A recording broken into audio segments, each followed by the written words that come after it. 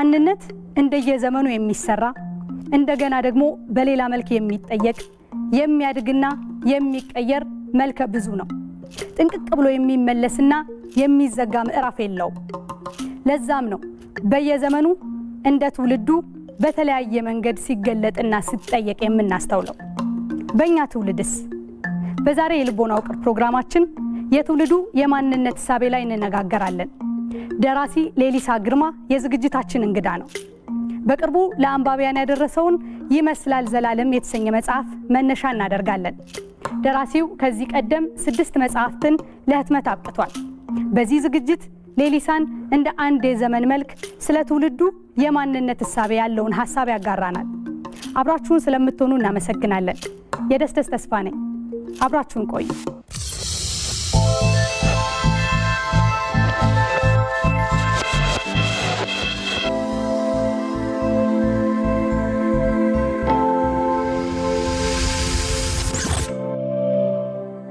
ዛሬ እንግዳችን ሌሊሳ ግርማ ነው። በተለይ ደግሞ በቅርቡ ለአንባቢያን ያደረሰውን ይመስላል ዘላለም የተሰኘ መጽሐፍ መነሻ እናደርጋለን። ለሰፊ ትከሻ የሚል አንድ እኔ ከመረጥኳቸው አጫጭር ጽሁፎች መካከል ማለት ነው ስለ ፍረጃ የሚያነሳ ጽሁፍ ነው። ፍረጃ እኔ ብዙ ጊዜም አንዳንድ የእኛን ሀገር ትላንታችንንም ትንሽ ለመዳሰስ ስሞክር የማገኘው በተደጋጋሚ የሚባለው ነገር እዚህ ላይ ሀሳባቸውን የሚሰጡም ሰዎች በዛኛው በዛ ትውልድም ቢሆን በአንድ አይነት ርዕዮተ ዓለም እያቀነቀኑ አንድ አይነት መዳረሻ አለን ብለው እያሰቡ ግን የደረሱበት ደረጃ አድርሷቸዋል ተብሎ ከሚቀመጠው አንዱ ችግር መፈራረጅ ነበር የሚሉ ሰዎች አሉ። ከዛ በኋላ መግባባት የለም፣ ቋንቋችን ይደበላለቃል ይላሉ። በእኛም ዘመን መልኩን ቀይሮ በተለያየ መንገድ ሲነሳ የምንሰማው ነገር ነው። መፈራረጅ ከሌ እንደዚህ ነው። ከዛ በኋላ መግባባት የለም። አንድ ቦታ ላይ ቁጭ ብሎ የሚያነጋገር ነገር ይጠፋል ማለት ነው። ለሰፊ ትከሻ ላይ እኔ እሱን ነው ያየሁት። እንደውም ስራ ሆኖ ነው የመጣው እዚህ ላይ ዋና ስራችን የሚል ይመስላል። እና የእኔ ጥያቄ ለምን ይመስልሃል ማለት ከዚህ የመፈራረጅ ባህሪ መውጣት ያቃተን መሻገር ያልቻል ነው ለምንድን ነው? አሁን አንዱ ዘመኑ ራሱ postmodernism መገለጫው የ group ብዛት ነው። ማለት ብዙ group፣ ብዙ social identity እና ብዙ የእኩልነት ጥያቄ። ስለዚህ እነዚህ ነገሮች ወደ ግለሰብም አውርጁ ግዴታ ብሔር ምናምን ብለሽ መነጣጠል የለብሽም። አንድ ቤት ውስጥ ያሉ ሰዎቹ ደረጃም ሊገባ ይችላል። በተለያየ ምክንያት ሆኖ እንደዚህ ስላልተጠቀምኩ ነው፣ የኔን እምነት እንዲህ ስላላከበረ ነው፣ እንዲህ ስላላደረግልኝ ነው ምናምን በሚሉ ያንኑ ቅርጽ ይዘው ማለት ነው መጠላላቱ በዛ መልክ ሊመጣ ይችላል ብዬ አስባለሁ። እኔ ይህን story እንደ እንትን አይደለም metaphor ምናምን አያስፈልጉም። social media ን ብትከፍቺ ዞር ብለሽ የትኛውም እንትን ውስጥ ብትገቢ ይሄን ነገር የምታገኝ አንዱ ላይ ተሰባስበው ይረባረባሉ፣ ከዛ ደግሞ ሌላኛው ላይ ደግሞ እንደዚሁ ዞሮ ይረባረባሉ አይነትና ምክንያቱ እንግዲህ በጣም ብዙ እንትን ውስጥ መሄድ ሊያስፈልግ ይችላል። ማለት በዚህ ምክንያት ከዚህ የተነሳ ነው ከዚህ የተነሳ ነው ከዚህ የተነሳ ነው፣ ግን ነገሩ ይሄ አለ ነው። በዘመናትም የነበረ ተመሳሳይ ችግር በእርግጥ ብዙ ነገራችንን ብንፈትሽ እንደዚህ አይነት አዙሪቶች አይጠፉም። አዎ ለምሳሌ አሁን የቅድም ያልሽው የኮሚኒስቶቹ ሁሉም ideology ያቸው አንድ አይነት ነው። ግን እኔ ከአንተ የበለጠ ለ ideology ቅርብ ነኝ፣ እኔ በጣም የጠራሁ እንትን ነኝ ምናምን በሚል ነው። አንድ ideology ውን በደንብ አለማወቅ ሊሆን ይችላል። ሁለት ደግሞ ideology አለ ምክንያቱ ድሮኑ ውስጥሽ የነበረ በባህል መልክ የነበረ ባህላዊ ዘረመልሽ ውስጥ የነበረ ነገርን ነው ይዘሽ ደግሞ እዛው ideology ውስጥ የገባሽው። ስለዚህ ideology አይዳኝሽም። እዛም ላይ ቢሆን ያው የነበረው ነው የሚቀጥለው። ምክንያቱ ይሄ ሊሆን ይችላል። ግን አሁን ደግሞ ዘመኑ በብዙ privilege ያጡ ድሮ ተጨቆኑ፣ እኩልነታቸውን አጡ በሚሉ በተለያዩ ግሩፖች የተሞላ ነው ይሄ አሁን የዘመን መንፈስ እና እንዲሁም አስቸጋሪ ነው። ወደ አንድ አስተሳሰብ ለመምጣት እንዲሁም አስቸጋሪ ነው። እሱ ላይ የባህላዊ ዘረመላችን ደግሞ ስጨምሪው ማለት በዘመን ብቻ የመጣ ሳይሆን በባህል ውርርስ ውስጥ ያለ እንትንም ሊሆን ይችላል መሰበር የሚችልበት ይታይ መንገድ ይታይሃል። እንደው ይሄ ቢሆን ብለህ እንደዛ ታይቶ ያውቃል? አስበህ ታውቃለህ? እንደዛ እንግዲህ እኔ አንዱ ምለው ቢያንስ በብዙ group በብዙ እንዲህ እንትን ተነፍጎኛል እንዲህ ተነፍጎኛል እንዲህ ተነፍጎኛል የሚል ብዙ ካለ እሱን ወደ አንድ መግባባት የሚያመጣ ምናልባት okay politically እንትኑን ካቀለልሽው politically በ postmodernist ideology ያልኩሽ በሱ ምክንያት የመጡ ዓለም ላይ በሙሉ እንደዛ አይነት ነገር አሁን እየተካሄደ ነው። የእሱ ነጸብራቅ ሆኖ ልክ ኮሚኒዝሙም እንደመጣ እንደዛ አይነት መጥቶ ከሆነ እሱን ምናልባት መዳኘት ይቻል ይሆናል። የ postmodernism ን እሳቤ እንደው ኢትዮጵያ ውስጥ እንደ እንደ አንድ መንገድ ልንጠቀመው እንችላለን። የ modernism የፈረንጆቹ ከሆነ የ western ከሆነ የ idea መሰረት አለው፣ ፍልስፍና አለው፣ ዘመን አለው። ለብዙ መቶ ዓመታት ነው የኖሩበት ያጣጣሙት እና ያ ደግሞ ያመጣቸው effect ኦች አሉ። በ modernism ምክንያት ነው ሳይንስ የመጣው። በ modernism ምክንያት ነው exploration ዓለምን ዞረው እንትን ማለት የመጣው። በ modernism ምክንያት ነው መድኃኒቱ ሁሉ የምታውቂው በሙሉ አሁን ያለው okay ሰው ልጅ አከናወናቸው የተባሉ ነገሮች እና ያንን ግን ሲያደርጉ ለተወሰነ የዓለም ክፍል ጠቅመው ወይም ለተወሰነ አይነት ብለው ሌላውን ጨቁነዋል። ሌሎቹን ከፋፈሉ። የሌላውን የካልቸራል አይደንቲቲ በራሳቸው ለወጡ። ይሄ ነው። ስለዚህ ያ ሲገለበጥ ምን ሆነ? ብዙ privilege ያልሆንን የተባለ በጾታ ሊሆን ይችላል፣ በ race ሊሆን ይችላል፣ በባህል በአስተሳሰብ ሊሆን ይችላል። ፈላ ከየአካባቢው okay። አሁን ያ ደግሞ ጎን ለጎን ጎንዮሽ እርስ በራስ ደግሞ ውጊያ አለው ብዙ እኛ ጋር ሲሆን እዛው የነበርንበት ላይ ስለሆነ ነው የሚመጣው የእኛ አ- የሚያስቀው እሱ ነው ማለት modernism የቱ ጋር እንዳለ አይታወቅም። modernism እኛ ጋር ስንል ምናልባት የውጭ ቴክኖሎጂዎች የገቡበት እኛ ሀገር እና ትንሽ modern education እነ ገብረሕይወት ባይከዳኝ የተወሰኑ የተወሰኑ የዘመናዊነት እሳቤዎች ትንሽ ተንጸባረቁ ነው። ከዛ በኋላ ኮሚኒዝም መጣና ምናምን እና ግልጽ አይደለም። ሁሉም የተለጠፈ ነገር ስለሆነ አሁንም እኔ የማስበው ይሄም ዝም ብሎ የተለጠፈ ነው።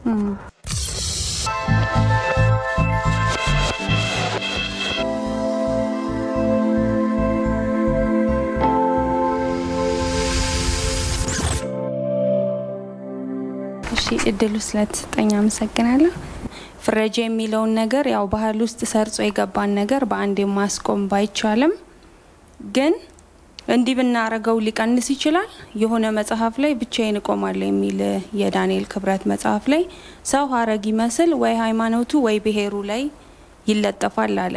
የሆነ ነገር ሲደርስበት ዘሎ ወይ ሃይማኖቱ ላይ ወይ ብሔሩ ላይ ድብቅ ይልና በቃ ብዙ ከኋላ የሚከተለው አይነት እንዳሉ አይነት እና ፍረጃን ለማስቀረት አሁን ቅድም እንዳልከን ሃይማኖት ከ family የወረስነው ቢሆንም ግን personal relationship with God ነው ያለን የለ personal ነገር ስለሆነ አሁንም ትውልዱን ብቻዬን እቆማለሁ በቃ ትውልዱ ብቻውን እንዲቆም ለምን የሚል አይነት ነገር ቢኖር ፍረጃ ሊቀንስ ይችላል። ያው ማጥፋት ባይቻልም ባህር ውስጥ የዘልቆ የገባን ነገር ግን ፍረጃን ለመቀነስ ብቻውን የሚቆም ትውልድ ብናፈራ ሊቀንስ ይችላል የሚለው ነው። አይ ብቻ ነው ብሎ ነገር የለም። ማህበረሰብ ያስፈልጋል። ማህበረሰብ ግን እንዴት ነው የሚሰራው ነው ከግለሰቦች ትስስር መፈቃቀድ ጀምሮ ወደ ላይ ይወጣል ወይንስ ድርጅት ሆኖ መጥቶብህ ይህን ትሸከማለህ ትልቁ ጥያቄ እሱ ጋር ነው ያለው። ትንዳላ እና በአርቲስቱ ልምጣ ደግሞ አርቲስት ሲሆን አንድ ሰው እኔ የማምነው በተለይ በተለይ አርቲስት ግለሰብ መሆን አለበት ብዬ አምናለሁ። ካልሆነ ሀሳቡን ራሱ ማሰብ አለበት ብዬ ነው ማምነው። አረረም መረረም አስቦ አይ ይሄ ልክ ነው ይሄ ልክ አይደለም የሚል ምርጫ ማድረግ አለበት አርቲስቱ ግለሰብ መሆን አለበት እና እንደዛ ካልሆነ በእንትን የሚያስብ ከሆነ ግዴታ አክቲቪስት ነው የሚሆነው። አክቲቪስት ነው የሚሆነው። ለሆነ እንትን advocate ማድረግ መጮህ ምናምን ነው። እና የራሱን እንዲህ ነው የሚታየኝ ይሄ ነው ያለው የሚል የሳብጀክቲቭ እንትን አይኖረውም ብዬ አስባለሁ። እና እኔ ብቻ መቆም በጣም አስፈላጊ ነው እላለሁ። ልክ እህቴ አሁን ባለችው ሀሳብ ላይ ሆኖ ስለ ፍረጃ ትንሽ የተምታታቢ ነገር ስላለ ነው። ፍረጃና ምክንያታዊነት የሚባል ነገር አለ፣ ወይም ምክንያት የምንሰጠው ለራሳችን። ፍረጃ ሲባል ለምሳሌ ብዙ ነገር አለ። በፊት የነበረው ስርዓት፣ በፊት የነበረው ባህል፣ በፊት የነበረው ኑሮ እያልን ወደኋላ እንመለሳለን። ስለዚህ ለራሳችን ምክንያት የምንሰጥበት መንገድ አለ። እኔ እኮ አይደለም ችግሬ የእኔ ችግር አይደለም እንደዚህ ስለሆነ ነው የምንለው ነገር አለ እና ልክ አሁን ፍረጃ ተብሎ ከተባለው ጋር እሱስ እንዴት ነው ያለው ተዛማጅነት? እና እሱን ለማለት ነው። አመሰግናለሁ። ምክንያቱ የትኛው ምክንያታዊነት ማለት በጣም ግራ ይገባኝ ማለት የሌላ የብዕር ስም ወጥቶለት እንዳይሆን ምክንያታዊነት በሁሉ ሰው ይላል እኮ ትክክለኛው ምክንያታዊነት reason ምን መሰለሽ? የመጀመሪያው reason የ modernist ኦቹ reason ሰው ልጅ ተፈጥሮን አይቶ በምክንያታዊነት መረዳት ይችላል። ከዛ በፊት የነበረው ሰው ልጅ ምንም ነገር የሚረዳው ፈጣሪ ሲፈቅድለት ነው ነበር። modernist ኦቹ መጡና ሰው ልጅ በምክንያታዊነት ተፈጥሮን አይቶ አዎ መረዳት ይችላል። በዚህ ምክንያት ነው ሳይንስ የመጣው እና የእነሱ ምክንያታዊነት ይሄ ነው። ለምሳሌ አንድ ነገር ነው ሲባል ያ ነገር ከተጨባጭ እውነታ ላይ ወስዶ observation፣ experiment፣ hypothesis ነው የሚሉት method ኦቹ ያ ነው እስከተረጋገጠ ድረስ ነው። አዎ እስከተረጋገጠ ድረስ ነው እና ምክንያታዊ የሆነ አስብ እንባባላለን። አሁን እኛም ስሜታዊ የሆነ አስብ ማለት እንደ አለመሆኑ በምን የአባባል አይነት እንዳይሆን እየሆነ ያለው ዛሬ ላይ ሆነን የትናንትናውን ስናመሰግን እንደገና ደግሞ ነገ ደግሞ የዛሬውን ስናመሰግን ነው የሚታየው የሚል ሀሳብ ስለተነሳ ነው። ስለዚህ እዚህ ላይ ትንሽ ሀሳብ ቢጨመረበት ማለት አሁን እኔ ከዛሬ ነገ ይሻላል የሚል እንትን አለኝ ለእኔ ለራሴ ማለት ነው። ማለት ነገ የተሻለ ይሆናል። ስለ እውቀት እውቀት ሁሉ ግን ጠቃሚ ነው ማለት እዚህ ጋር ማለት የሚጎዳ እውቀት አለ የሚልም ሀሳብ አለኝ እኔ የሚጠቅመንና የማይጠቅመንን እውቀት ለይተን የመውሰድ የማይጠቅመንን የማስቀረት ነገር ካልሄድንበት ማለት ነው። ሌላው እኛ ሀሳብ ተሸክመን ነው የምንሄደው ወይስ ደግሞ እኛ ራሱ ሀሳብ ተሸክመን ነው የሚሄደው? አሁን ነገ ከዛሬ ይሻላል ብለህ ነው አንተ የምታስበው እና ከዚህ በፊት የነበረው ቅድም እንዳልኩ የማይለዋወጥ መስሎ እንደ እንትን ይሰጥሃል። ገባህ አይደል? እሱ ላይ ትመሰረታለህ። አሁን እንዳልከው ኦፕቲሚዝምን ትይዛለህ፣ optimism ም ትይዛለህ። ግን optimist ስለሆንክ ብቻ ይሳካል ማለት አይደለም። እቺ መሀል ላይ ያለህባት ሰዓት የሆነ ነገር ማድረግ ያለብህ ነው እና ያ optimism ካልተሰራበት አይመጣም በመመኘት ብቻ ዝም ብሎ የተቀመጠ ነገር አይደለም እና እሷ ባለችው ስመጣ እያንዳንዱ ግለሰብ እስቲ ትክክል ነገር ያድርግ። እያንዳንዱ ለምሳሌ ለራስህ የአንተን future ብቻ ሳይሆን ከጎንህ ያለውንም የሚያደርግ አንድ ስራ ዛሬ ላይ ዛሬ ላይ መርጠህ ዛሬ ላይ ባወቅከው ዛሬ ላይ experience ባደረግከው እስካሁን በሄድከው በምታውቀው ዝም ብለህ በተጫነ ምናምን ሳይሆን ብለህ አይ ይህንን እኔ አላረግም ወይም ይሄ ነው መደረግ ያለበት። እውቀት ሁሉ ጠቃሚ ነው ወይ? እሱንም ቅድም ብያለሁ። ማለት ጠቃሚና ጠቃሚ ያለመሆኑን ለማወቅ ማወቅ ያስፈልጋል። ሀሳብ ተሸክመን ነው የምንሄደው ወይስ ሀሳቡ ነው የሚሸክመን?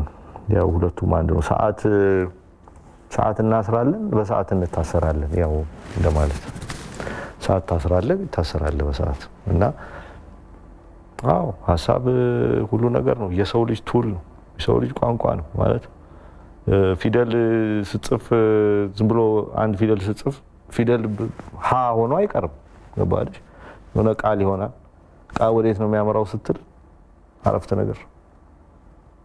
ከዛ አረፍተ ነገሮች ክምችት ምንድን ነው? ጽንሰ ሀሳብ፣ ሀሳብ እና ሰው ልጅ ያለ ሀሳብ ምንም function ማድረግ አይችልም እና ይሸከመናልም እንሸከመዋለን ገባህ? የተሸከምከው ሀሳብ አንዳንድ ጊዜ ሁሉን ስልጣን ለሱ ከሰጠው ሊያጠፋ ይችላል፣ ነፃም ሊያወጣ ይችላል። ሁለት ጥያቄዎችን መጠየቅ እፈልጋለሁኝ። የመጀመሪያው post modernism የሚባለው እውነት የኢትዮጵያ ችግር ነው ወይ? ከኢትዮጵያ context አንጻር ለምሳሌ የውጭ ሀገር culture ስናይ individualism culture ያለበት ነው፣ ስልጣኔው የጨመረበት ነው። ያን ያክል እንደኛ ብዙ ችግር ሲደርስባቸው አናይም። እኛ ላይ ደግሞ በጣም በ group ቅድም አንተ እንደገለጽከው አንድ group የሆነ ነገር ይዞ ይነሳል፣ ያ ይገናል፣ ችግር ውስጥ እንወድቃል። ና እኔ የሚመስለኝ ከ post modernism ከስልጣኔው ባለፈ ያለፍንበት ስርዓት የነበሩ ችግሮች የነበሩ ትርክቶች ለዚህ ሀገር ትውልዱን ወደ ሌላ ችግር ውስጥ እንድንገባ ያደረገን ይመስለኛል ብዬ አስባለሁኝ። ይህን እንድታየዋለህ ብዬ እጠይቃለሁ። ሌላው ሁለተኛው የአሁኑ ትውልድ ከድሮ ትውልድ የሀገር ፍቅሩ በጣም እጅጉን እየቀነሰ ነው የመጣው ከምናየው ሁኔታ ማለት ነው ካለው ነባራዊ ሁኔታ። ለምንድን ነው ትውልዱ የሀገር ፍቅሩ እየቀነሰ የመጣው? ምን ጎድሎበት ነው? ውጭ ሀገር post modernism ብዙ ችግር ሲያደርስባቸው አይታይም።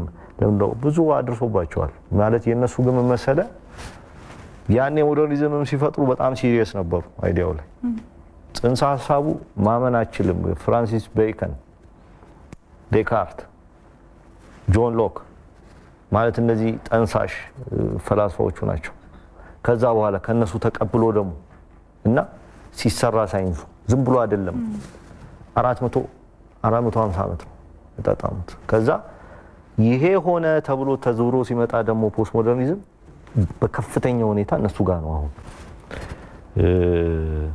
ጾታ ላይ ምን ላይ ስንት አይነት ነገር ነው እየመጣ ያለው። practically ነው እነሱ ጋር፣ የእኛ ልጥፍ ነው የእነሱ በጣም እና ብዙ ብዙ ያናጋቸው ነገር አለ። እንደምታስበው አይደለም። እንደው ደስ የሚለው ድሮ የሰሩትን ይዘው ነው አብረው ይሄኛውንም የጨመሩት እንጂ በጣም በጣም ፈተና ውስጥ ናቸው እነሱ። ዲሞክራሲ የምትለውንም ሰላም የምትለውንም ሀገራዊ መንግስት የምትለውንም ከጽንሰ ሀሳብ ጀምሮ ለማጽናት በጣም ረጅም መንገድ ስለሄዱ በቀላሉ እንዲህ ሲነቃነቁ አይታይም ነው እንጂ ብዙ ነው እነሱንም የፈተናቸው ብዬ የማስበው። ትውልዱ የሀገር ፍቅሩ እየቀነሰ የመጣው የሀገር ፍቅር አንተ ቀንሷል። እኔ ሰለን እንደዚህ ምናምን አለን። አሁን ግለሰቦች ነን ያለን ነን የምናወራው አይደል? ቀንሷል። ያንተ ያንተ ሰላም ነው። እኔ በጣም እየጨመረ ነው። ካንተ በቃ ትክክል ነው። አንተ እኔ አሁን እነንትና እነንትና እየተባለ የእንትን መወራረስ ራሱ ችግር ነው። እኔ ሀገሬን በጣም ወዳለሁ። ዘፈን ጻፍ፣ ስለ ሀገር የምታውቀውን አስተምር። ያኔ ዝም ብሎ የእንትን አይሆንም። ገባህ አይደል? አሁን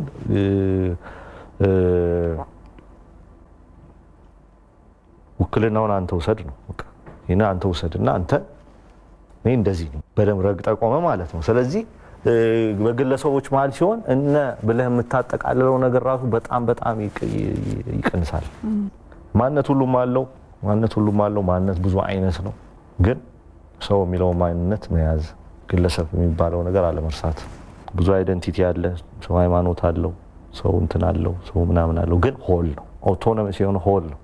whole ነው ሰው ሰውየው whole ከሆነና ሰውየው ምርጫ የሚያደርግ ሰው የሚያስብ ከሆነ ሰውየው አሁን አንተ እንዳልከው አቋሙን እኔ ብሎ የሚወስድ ከሆነ ዝም ብሎ አንድ ላይ ምናምን ሳይሆን ይሄኛው እንደ ግለሰብ ከሆነ identity ው disintegrate የሚያደርግ ሳይሆን በጣም solid እየሆነ የሚመጣ ነው ይመስለኝ። ይሄ ነው ደግሞ ጠንካራ ሀገር የሚሰራው ብዬ አስባለሁ በራሴ።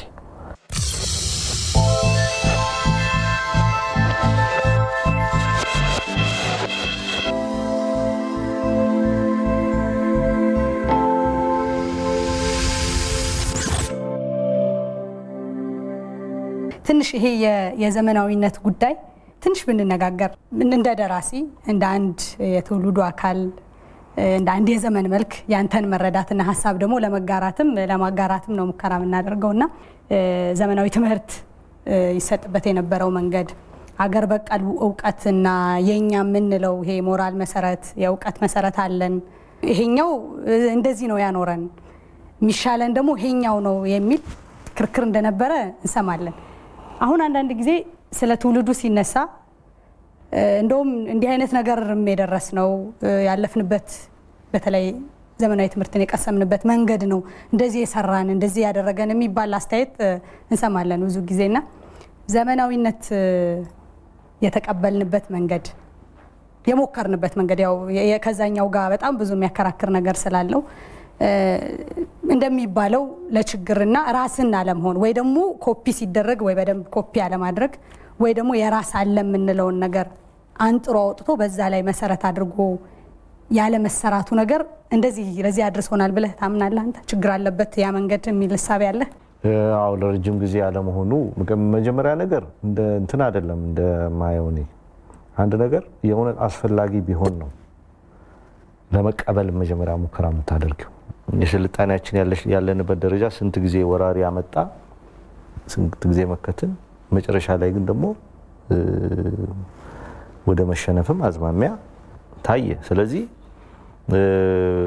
በእግር መጥተው ከዛ በአውሮፕላን የመጣ ወራሪ ለመመለስ ያው መማር አለብሽ እና አንቺም የደረሱበት መድረስ አለብሽ። ምንም እንትን አይደለም እና የነበርንበት ነገር መልካም ነበር፣ በጣም ጥሩ ነበር ለማለት ሳይሆን ግን ይሄኛውን የተቀበልንበት መንገድ ላይ እሱ እንደ ችግር መቆጠሩን ትጋራለህ? እሱ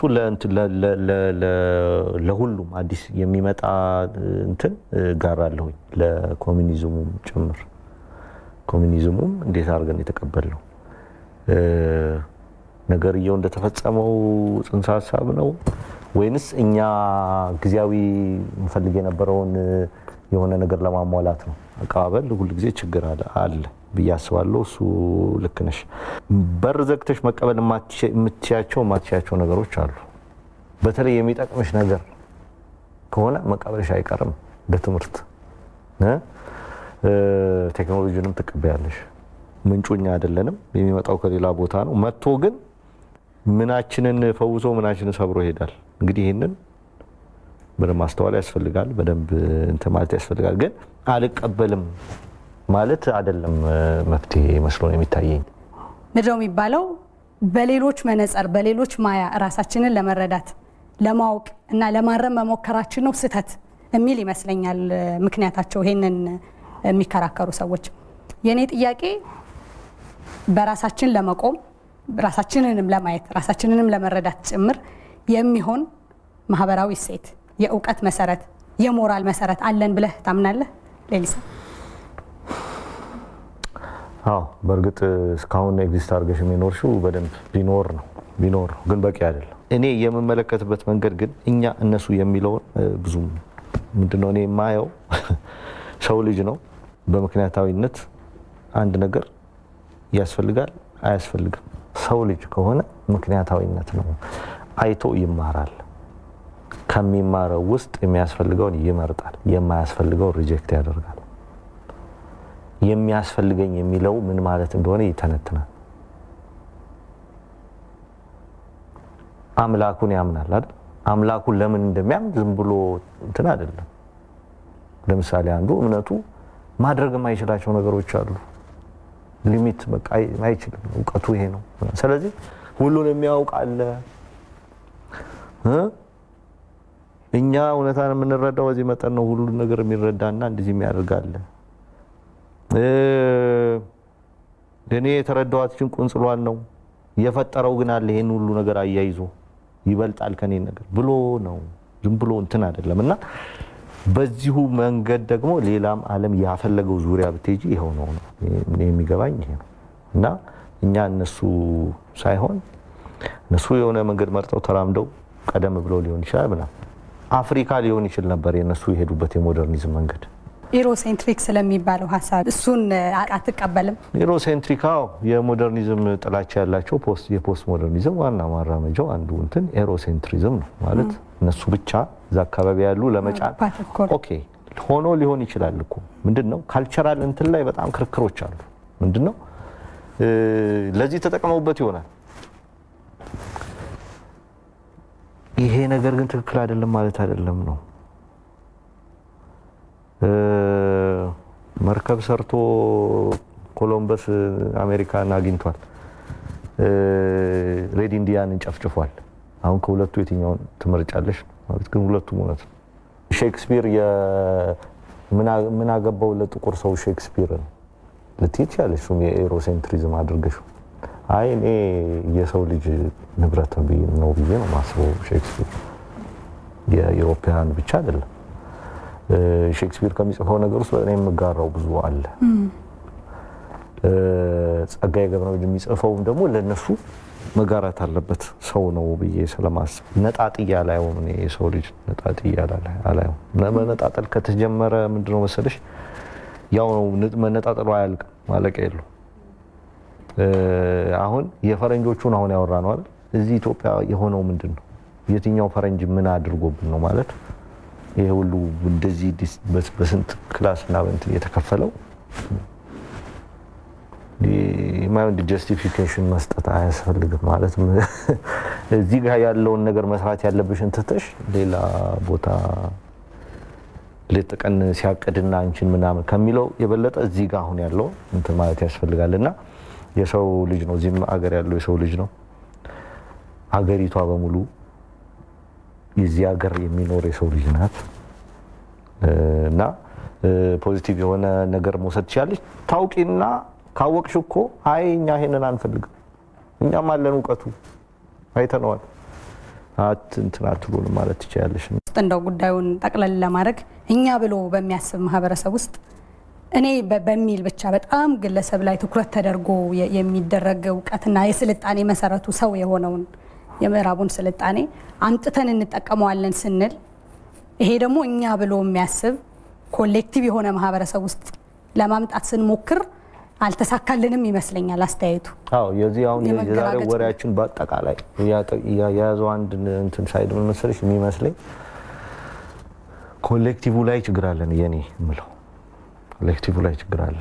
collective አንድ collective አይሆንም መጨረሻ ላይ ብዙ collective ፈጥሯል እና collective ደግሞ እርስ በራስ ጎንዮሽ ምናምኑ ጀምሯል ነው። ስለዚህ እኔ መሰብሰቢያ የሚመስለኝ ሰው አለ፣ reason አለ፣ almost እንደ modernism ታስተውያለሽ፣ ታውቂያለሽ፣ የሚሆነውን ትቀበያለሽ። የ modernism ዘመን ላይ የእግዚአብሔርም ጽንሰ ሀሳብ አብሮ ነበረ። ከዛው ከሳይንሱ ጋር አድርገው በእርግጥ ተፈጥሮ እንረዳለን ይሉና ተፈጥሮን ደግሞ እንዴት እግዚአብሔር እንደሚገልጽ ተፈጥሮን በመመልከት እግዚአብሔርን የእግዚአብሔር መኖር እንደ ቶማስ አኳይነስ አይነቶቹ እና የበለጠ solid እንትን ነበረ የሚመስለኝ ያ ዘመን እና እሱም በተለያየ ምክንያት እንደዚህ ሆኖ እንደዚህ ሆኖ እንደዚህ ሆኖ እንደዚህ ሆኖ ተብሎ ገልብጦ መልበሱ ሲመጣ ግን በጣም አሁን እኛም ሀገር የምናየው የብዙ conflict ዘመን መንፈስ ይዞ እንደመጣ ነው ማስበው እና እዛኛው ላይ ነው የማተኩረው ላለው በጣም ጥሩ። በጣም እናመሰግናለን ሌሊሳ። ተሳታፊዎቻችን እናንተም ስለመጣችሁ በጣም እናመሰግናለን። በትንሹ በዚህ ዘመን ይነሳሉ ያልናቸውን ከዛም ከዛም የሚቀነጨቡ ሀሳቦችን እንደ አንድ የትውልድ አካል ሀሳብ ለመለዋወጥ ነው ትንሽ ሙከራ ያደረግነው። መነጋገራችንን እኛ እንቀጥላለን። እናንተ ስለመጣችሁ በጣም ነው የምናመሰግነው ሁላችሁንም። እናመሰግናለን። ተመልካቾቻችን እናንተም በያላችሁበት አብራችሁን ስለቆያችሁ ስለተከታተላችሁን በጣም እናመሰግናለን። ሳምንት በሌላ ርዕስ በድጋሚ እንገናኛለን። በሰላም ቆዩን።